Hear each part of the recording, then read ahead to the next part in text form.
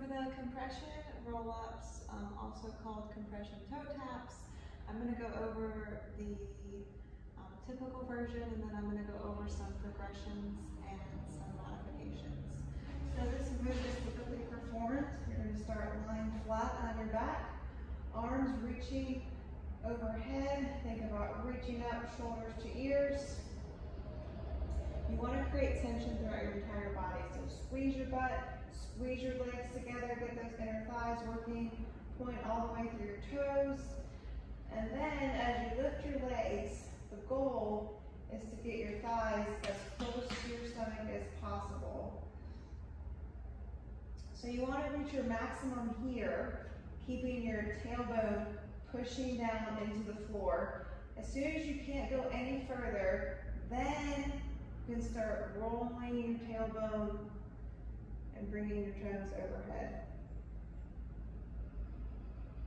Keep thinking about pressing your thighs into your stomach. This is your compression. Push, push, push, push, push.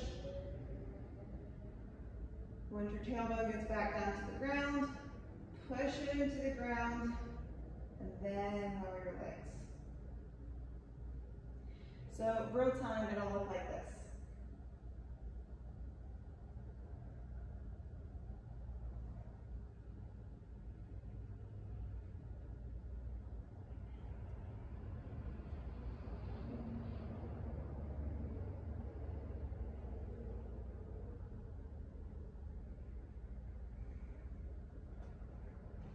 All right, so modification.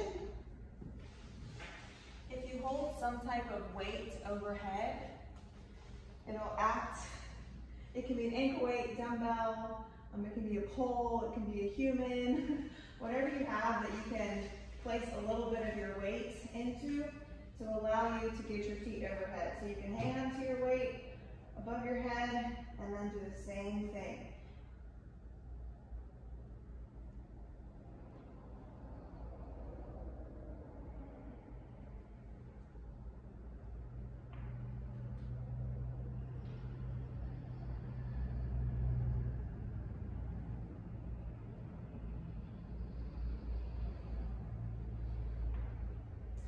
And yours may not look like that right now. That's okay. Mine did not look like that when I first started. So it may look something like